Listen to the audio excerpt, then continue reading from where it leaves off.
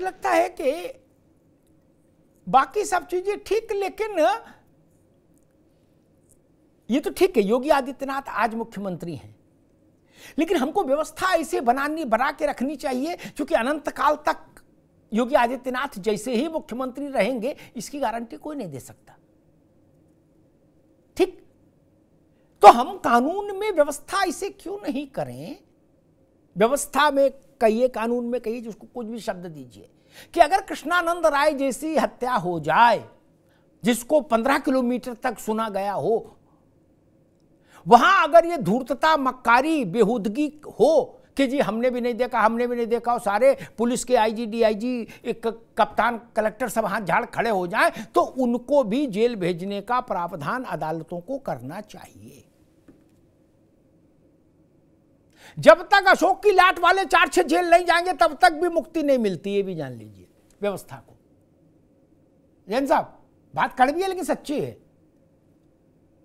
मैं अगर high court का जज मैं मैं तो मान ही नहीं सकता था कि सब लोगों ने आके कह दिया, हमने नहीं सुना। फिर पुलिस क्या कर रही थी? फिर तो लूडो खेल रही थी, इसका मतलब? मुख्तार के घर में जाके लूडो खेल रही होगी, ये तो मोमदाबाद में। ऐसा कैसे हो सकता है? इतना हाहाकार मचा था।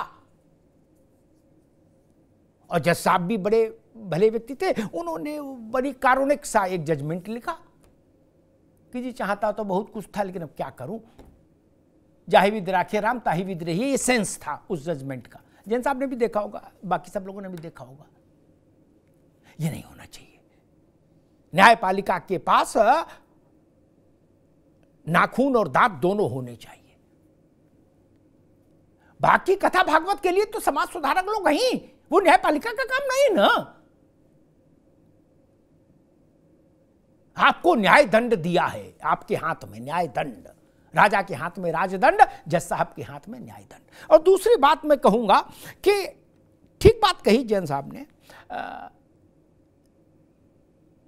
जब अतीक को सजा हुई तो मैंने किसी उत्तर प्रदेश के एक, सेवानिवृत्त होगा मतलब राजनीति से, सक्रिय राजनीति से हट गए वो अब। उनसे चर्चा हो रही थी, बड़े आदमी हैं। तो मैंने उनसे कहा कि भाई, ये तो काम अच्छा हो गया कम से कम बीजेपी के उस सरकार में। तब उन्होंने भी वही बात कही। उन्होंने कहा, अग्निहोत्री जी, ये व्यक्ति आधारित तो मसला है। बीजेपी की भी सरकार होती तो ऐसा होता, इसकी गारंटी न लो। फिर उन्होंने दो तीन पुराने किस्से बताए। उन्होंने कहा, ये योगी आदित्यनाथ की प्रतिबद्धता का नतीजा है कि ना सुननी ही नहीं, दाएँ बाएँ भागने ही नहीं देना, ना अधिकारी को, ना किसी को। करना है तो करना है। ये बात ठीक है, अच्छी बात है, होना चाहिए। परित्राणाय साधुनाम विनाशाय च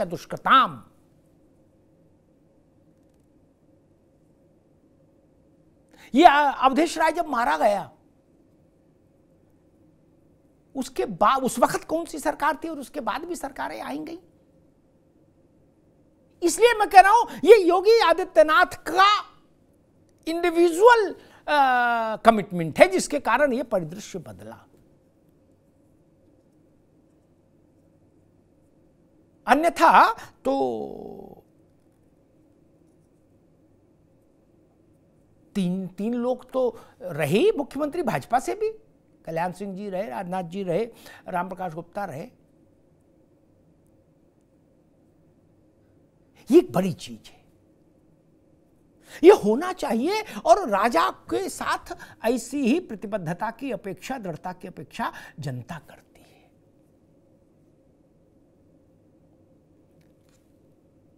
मैं मानता हूँ अपराध का कारोबार परसेप्शन से चलता है। मेरी बात से जैन साहब भी सहमत होंगे और दोनों वकील साहिबान भी सहमत होंगे।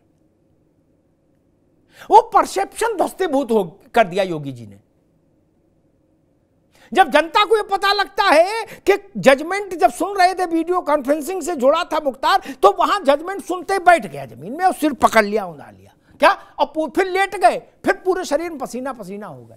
तो फिर उनका बीपी पी चेक करके जेल अंदर भेजा गया। तो जनता को लगता कि आप ठीक है, अब ये नहीं हो रहा, ये नहीं चल रहा। फिर देखता है कुरकुरे मांग रहे हैं करे कुरकुरे ही दिलवा दो, बिस्कुटी का एक पैकेट भिजवा दो। जो लोग जिप्सी के हुड पर बैठकर एयर कार्बाइन और एलएमजी लेके जलूस निकालते थे, वो बिस्कुट का पैकेट मांग रहे हैं। यहाँ से सरकार के इकबाल की, न्याय के इकबाल की, अदालत के इकबाल की स्थापना यहाँ होती है। वरना किसी जज साहब को यह सौभाग्य कभी मिला क्या? उत्तर प्रदेश की ज़मीन में विक्रम सिंह जी कभी नहीं मिला कि जिससे मुख्तार के कद के अपराधी ने बिस्कुट के लिए गुहार लगाई हो। ना। भगवान का नाम लो कभी मिलने की ज़रूरत, सोच, जज सोच नहीं सकते थे। क्या? यानी कितने जज तो रिटायर हो गए जो मुख्तार और अतीक को अपनी अदालत में कभी नहीं देखे। मुकदमे होते हुए भी। नहीं। सोलह साल में कुछ कई जज रिटायर हो गए अवधेश राय वाले मामले में। मुख्तार ने तो दर्शन ही नहीं दिए। ये लोग दर्शन देने का मामला था इनका। पेशी ऐसी नहीं इनके लिए होती थी, समझ लीजिए। ये होता था कि प्रभु कब प्रगटेंगे अदालत में। वो परिस्थिति थी उत्तर प्रदेश में। इसीलिए मैंने आरंभ में कहा था कि उत्तर प्रदेश में आज से पाँच छह साल पहले आप किसी से पूछो जाके कि भाई मुख्तार और अतीक को किसी मामले से, वो कहते ना, इन लोगों को सजा नहीं हो सकती, छोटे लोगों को हो सकती, लेकिन इनको नहीं हो सकती। ये भाव टूटना ज़रूरी था। इसी भाव ने लोकतंत्र को इनकी ड्योढ़ी पर बंधक बना दिया था। इसी भाव ने कानून व्यवस्था को इनकी ड्यूढ़ी पर चाकर बना दिया था। अधिकारी इनकी चिलम भरने लगे थे। क्या ये सच नहीं है कि अतीक ने पुलिस वाले बंद कर लिए? उनको लपड़े आया? सख्ती नहीं की गई जन साहब? निवेदन किया गया कि परम पूज्य अतीक जी पुलिस वालों को तो छोड़ दो। तुमको मेरी कसम। क्या? सच है? क्या गाजीपुर से जो लोग वाबस्ता होंगे, वो जानते होंगे कि मुख्तार का घर मोहम्मदाबाद में? वहाँ कोई आदमी अगर ये लिखा है कि हमारा राशन कार्ड है, बनना फलाना, जो भी काम हो अच्छा बुरा जैसा भी हो, वहाँ से अधिकारी को फ़ोन चला जाए तो अधिकारी उस आदमी को ढूंढता है कि भैया आप कहाँ हो, हम आपका वो कागज़ दे जाएँ। गलत तो नहीं कह रहा ना। ये समानांतर सरकारें चला रहे थे। मैंने देखा है। ये नहीं होना चाहिए।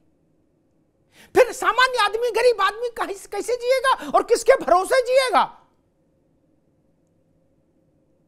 कानून की किताब का तब तक कोई बहुत मूल्य नहीं जब तक उसके उपयोगकर्ता ईमानदार ना हो। लोकतंत्र की किताब का भी तब तक क्या मूल्य? संविधान का, बताइए। संविधान में तो सब कुछ अच्छा लिखा है। उपयोग में किसको लाना है? इसलिए मैं कहूँगा, योगी आदित्यनाथ की यह सबसे बड़ी उपलब्धि है। सड़क कितनी बनी, कितनी नहीं बनी, मैं उस बहस में नहीं जाना चाहता। ये सबसे बड़ी उपलब्धि है, जिसमें कम से कम सामान्य व्यक्ति को उत्तर प्रदेश में यह भरोसा हुआ कि मुख्तार और अतीक को भी सजा हो सकती है। अदालत के कंठ में उतना साहस आ गया कि इनको भी सजा सुनाई जा सके। अन्यथा लोग मानते थे कि इनको सजा नहीं सुनाई जा सकती। किसी के पास ऐसा कंठ ही नहीं है। इनको कोई पकड़ के नहीं रख सकता। ठीक कहा था योगी जी ने कि हम मिट्टी में मिला देंगे। मिट्टी में मिला ही देना चाहिए। और कानून की मर्यादा के भीतर रह के इतने बड़े अपराधियों को मिट्टी में मिलाना सच में बड़ी बात हो जाती है। क्योंकि जब आप सरकार में होते हैं तो कानून भी आपके हाथ बांधता है। उसके बाद भी ये रिज़ल्ट मिल रहा है उत्तर प्रदेश को। उत्तर प्रदेश के बाकी दलों के जो राजनेता हैं, जिन्होंने समय समय पर मुख्तार और अतीक जैसे लोगों का सानिध्य हासिल किया अपनी राजनीतिक ताकत के लिए, उनको भी सबक लेना चाहिए। लोकतंत्र की गंगा में इन जैसे लोगों का स्थान नहीं होना चाहिए। वो किसी, कोई नाम हो उनका, कोई मज़हब हो, इससे फ़र्क नहीं पड़ता। जो अपराधी है, वो लोकतंत्र की गंगा से बाहर होना चाहिए। जाल डालिए, ताकि लोकतंत्र की गंगा से में जो अपराधी आ गए, वो उसमें आए और उनको बाहर निकाल कर खड़ा करिए। ये बड़ा काम है जो उत्तर प्रदेश में हो रहा है वरना हम लोगों ने जिस उत्तर प्रदेश को देखा है, जिया है, वो बहुत खौफनाक था डरावना था। बिहार में अभी एक मैं वीडियो देख रहा था, शादी में दो लोग मोटरसाइकिल से पहुँचे, फेरे लेती हुई बहू को उठाया, दुल्हन को, मोटरसाइकिल में बीच में दबाया और चले गए। ऐसी स्थिति उत्तर प्रदेश में भी थी। ये लोग सत्ता के केंद्र थे। आज वो स्थिति बदली है। अपराधी जब कमज़ोर दिखे तो भले आदमी को साहस पैदा होता है, और अपराधी जब यूँ करे तो भला आदमी डर जाता है। ये सबसे बड़ी उपलब्धि है कि अतीक जहाँ जाना था, वहाँ गए, और मुख्तार अंसारी ये जान गए कि अब ज़िंदगी जितनी भी है मेरे पास जेल से बाहर नहीं आ सकते। इसी जेल में जीवन भर रहना होगा। बिस्कुट मिले तो भी और ना मिले तो भी।